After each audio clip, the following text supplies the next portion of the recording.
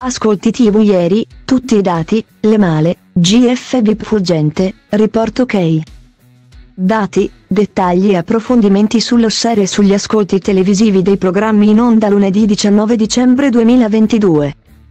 Il Grande Fratello VIP 7, dopo il forte calo registrato sabato scorso, complice la prima finale di Ballando con le Stelle torna a essere fulgente e marciare a ritmo sostenuto, intercettando 2,8 milioni di utenti e il 23,2% di share.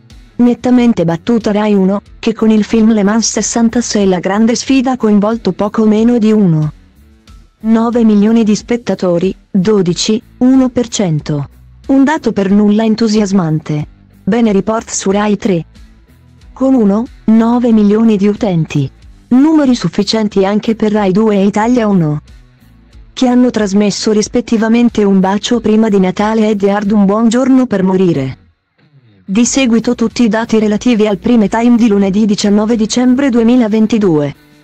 Striscia la notizia fa incetta di ascolti e batte i soliti ignoti. Drusilla Gucci cala al 2,7%.